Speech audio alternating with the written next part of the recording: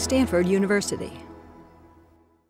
For the past 12 years, we've been working closely with a group of Australian Aborigines who refer to themselves as Martu.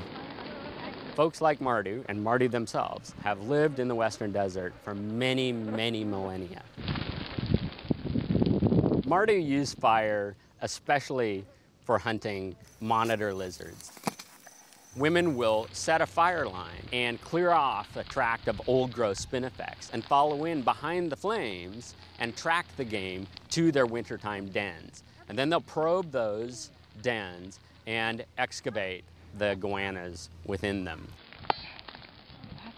the boots on the ground, the pedestrian hunting like this on a regular basis creates a very patchy mosaic on the landscape. With just a little bit of rain six months to a year after, you're going to have all kinds of mature plants coming up. And the plants that come up are not just the spinifex grass that you've burned off, but they're the seed bank from a lot of other plants.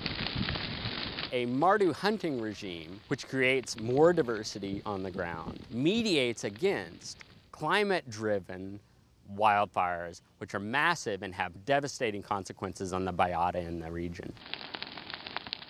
The moral of the story is we really, really need folks who know what they're doing and how to manage these resources out there. These communities are sanctuaries. They're sanctuaries for their culture, they're sanctuaries for the very desert biota.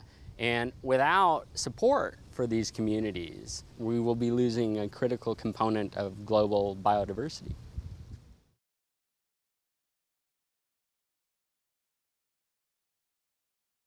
For more, please visit us at stanford.edu.